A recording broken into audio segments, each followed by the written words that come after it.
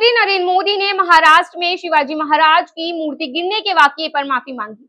26 अगस्त को सिंधु दुर्गा ज़िले में बनी 35 फुट की शिवाजी की मूर्ति ढा गई थी। इस मूर्ति का अनावरण पिछले साल दिसंबर में प्रधानमंत्री मोदी ने ही किया था। लेकिन मूर्ति ढाने के बाद विपक्ष महाराष्ट्र सरकार और भारतीय जनता पार्टी के खिलाफ लगातार हमलावर था। इसके कारण मुख्यमंत्री एकनाथ शिंदे ने भी माफ़ी मांगी थी। नमस्कार, मैं शेख जोया, आप देख रहे हैं द नगरी न्यूज़।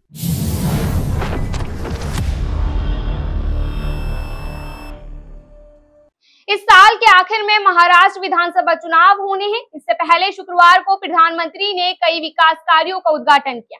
इसके अलावा सभा में लोगों को संबोधित भी किया। इसी दौरान उन्होंने शिवाजी की मूर्ति टूटने पर भी बयान दिया। प्रधानमंत्री बोले, आज मैं सिर झुकाकर मेरा राध्य देव छात्रपति शिवाजी महाराज जी के चरणों में मस्तक रखकर माफ़ी माँगता हूँ। सुनिए मोदी क्या कुछ बोले। और ये हमारे संस्कार है। इस धरती पर आते ही आज मैंने पहला काम मेरे आराध्य देव, छत्रपति शिवाजी महाराज में उनके चरणों में सर झुका करके क्षमा मांगने का कर रहा हूँ। और इतना ही नहीं जो जो लोग छत्रपति शिवाजी महाराज को अपने आराध्य देव मानते हैं उनके दिल को जो गहरी चोट पहुँची है, मैं ऐसे आराध्य देव की पूजा करने वालों को भी, उनकी भी सर झुका करके क्षमा माँगता हूँ। मेरे संस्कार अलग है। हमारे लिए हमारे आराध्य देव से बड़ा कुछ नहीं होता।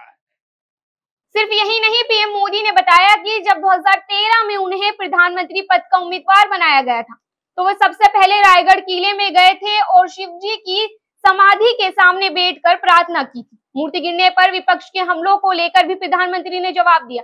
अपने भाषण में विनायक दामोदर सवारकर का ज़िक्र करते हुए मोदी बोले, हमारे संस्कार अलग हैं। हम वो लोग नहीं है जो आए दिन भारत माँ के महान सपूत इस धरती के लाल वीर स्वराकर को अनाप शनाप गालियाँ देते रहते हैं, अपमानित करते रहते हैं, देशभक्तों की भावनाओं को कुचलते हैं। वे लोग वीर स्वराकर को गालियाँ देने के बाद भी माफ़ी मांगने को तैयार नहीं है, उनको पश्चाताप नहीं होता है। महाराष्ट्र की जनता उनके संस्कार को अब जान गई है वीडी स्वराकर भी महाराष्ट्र के ही रहने वाले थे। प्रधानमंत्री आगे बोले, स्वराकर के अपमान कर लोग अदालतों में जाकर लड़ाई लड़ने को तैयार है, लेकिन माफ़ी नहीं मांगते। बताते चले, विपक्षी दलों ने मूर्ति ढहाने के बाद सरकार को घेरना शुरू कर दिया था। एसपी सांसद सुप्रिया सुले ने आरोप लगाया कि प्रतिमा जल्दबाजी में बनाई गई थी। सुले ने दावा किया कि उन्होंने इस मूर्ति को बदलने की भी मांग की थी, लेकिन सरकार ने नजरअंदाज कर दिया था। विपक्ष के भारी हंगामे के बाद मुख्यमंत्री एकनाथ शिंदे ने भी घटना पर माफ़ी मांगी थी।